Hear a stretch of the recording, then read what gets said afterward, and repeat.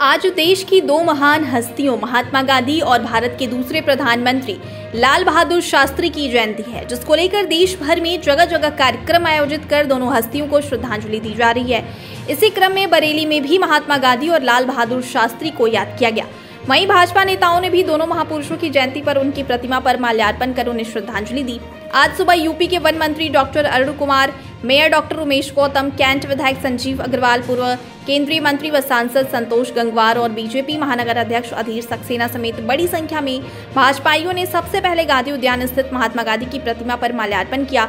इस दौरान सभी ने बापू के बताए मार्ग पर चलने और स्वच्छता की शपथ ली। इसके बाद सभी भाजपा नेता कैंट स्थित लाल बहादुर शास्त्री चौक पर पहुँचे, जहाँ उनकी प्रतिमा पर माल्यार्पण कर उनके योगदान को याद किया।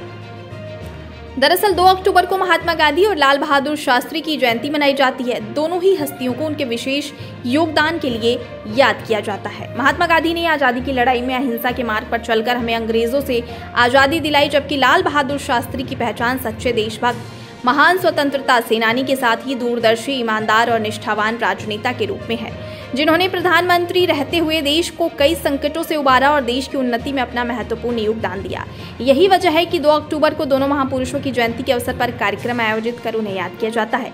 इस अवसर पर मेयर डॉक्टर उमेश गौतम ने कहा कि बापू की जयंती पर स्वच्छांजलि कार्यक्रम का असर देखने को मिल रहा है। आज भी शहर के लोगों की ओर से स्वच्छता अभियान चलाया जा रहा है और ये जन आंदोलन बन जाए तो बरेली स्वच्छता की ओर बढ़ता नज़र आएगा।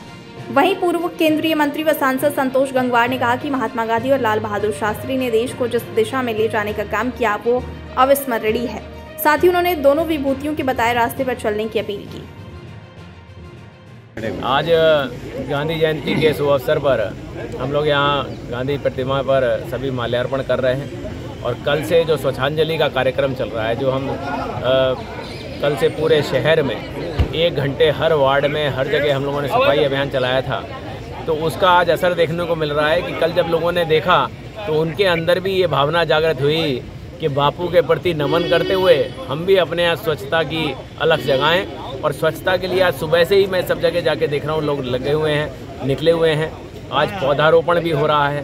तो आज मुझे लगता है कि इस भावना के साथ अगर ये जन आंदोलन खड़ा हो जाता है तो बरेली स्वच्छ और स्वच्छता की तरफ़ बढ़ता हुआ नज़र आएगा तो वास्तव में आज महत्वपूर्ण दिन है। आदरणीय महात्मा गांधी और लाल बहादुर शास्त्री जी दो देश के महान विभूतियों का आज का जन्मदिन है। और निश्चित रूप से हमारे देश को जिस दिशा में ले जाने का काम किया इन लोगों ने, वो अविस्मरणीय है और निरंतर इनके बताए रास्ते पर हम लोग चलें और देश का एक सही दिशा में भला करने का काम करें।